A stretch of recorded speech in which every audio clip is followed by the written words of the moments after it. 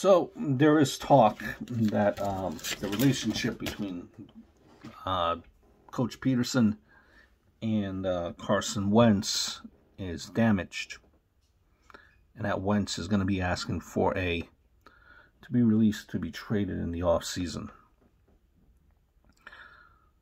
Might say to yourself, I heard some Eagle fans saying, let's be honest, right? Carson Wentz was never there when you needed him. You're saying, thank goodness for Foles. They released the wrong guy. You might think that Wentz was a distraction in the locker room and look down on those players who didn't join his player group, or his prayer group, rather. Yeah, if you're saying to yourself now, after all this report, if he really wants out, let him sign off on his overblown contract and give him away. I know that's what some of you Eagle fans are saying. That's definitely on your mindset, on your on your hearts, on your mind. This guy was never a guy that you could depend on. What it was the playoffs or in the Super Bowl. He was MIA, you, you might be even going so far as to say. I'll tell you this, though.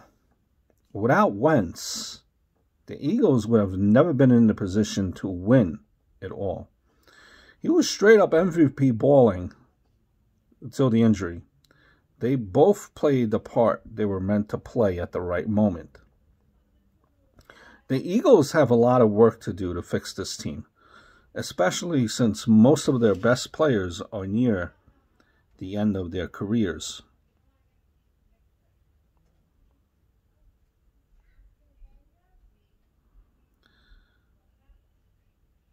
Listen,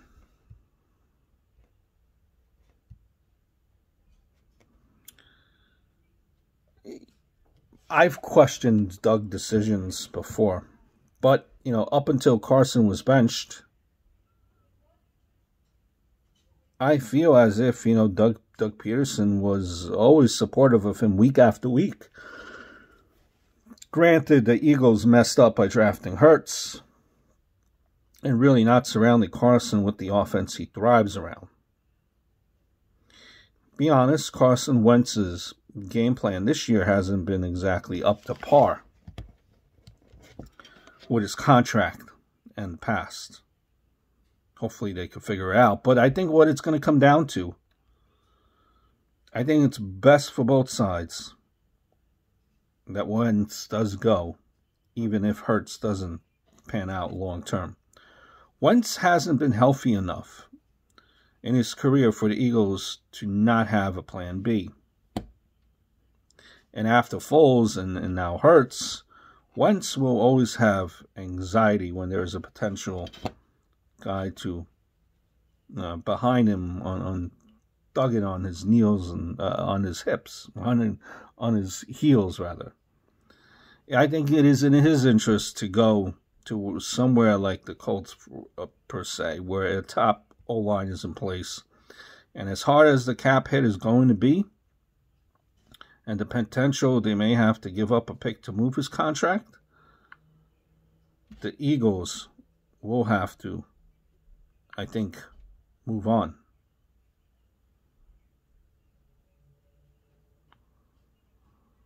Listen, Wentz could demand a trade, but it will all come down to what NFL team in need of a quarterback is willing to take on his massive contract.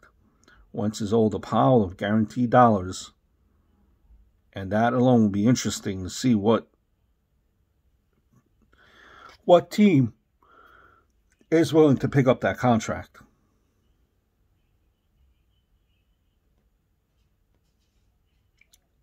I hope all is well. Look forward to speaking to you guys very, very soon.